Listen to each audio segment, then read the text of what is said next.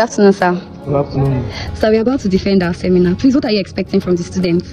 Well, I, I'm expecting the students to show uh, good presentation skills, to show aptitude in what they have been taught. So many things that uh, show that uh, they are finalists. Okay. Thank you very much, sir. You're welcome.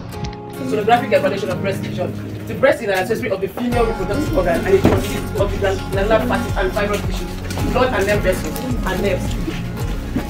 The glandular tissue is the mammary gland and it's modified sweat gland that secretes milk instead of sweat. You can see on the banner, um, biomarkers are classified into different parameters. And we can see, they have different branches. We have the clinical application where we have um, diagnostic biomarker, which is used to detect different diseases. Then we have the therapeutic biomarker, which is used to check if the treatment for glasses. um, disease is actually working. Then we have the prognostics. This has to do with to check if um, there's a survival rate or if the treatment is going to work, or if the disease is increased. Evaluation of breast lesion disease. Evaluation of breast lesion diseases are process that determines whether the breast lesions are cancerous or non-cancerous. And breast lesions are very common in females and very rare in men. Imaging biomarkers is like giving a clue that this particular structure has an abnormality, defect like atrophy, shrunk, or increase in. Offering a safe, accurate, and non-invasive means of monitoring fetal development and identifying complications throughout pregnancy.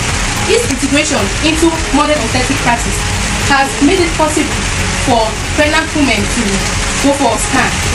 Check the positioning and the placement of that image gives you an accurate outcome, so it will not cause more problem to the patient. Good afternoon, sir. Good afternoon. Sir, so we are done with our presentation. How was it? Wow, the presentation was just wow. The students performed wonderfully. Uh, they showed skills, expertise, and interpretation of the images was nice, and I learned a lot of things. Keep it up as you are growing in your career. I wish you the very best. academic. Thank you very much, sir.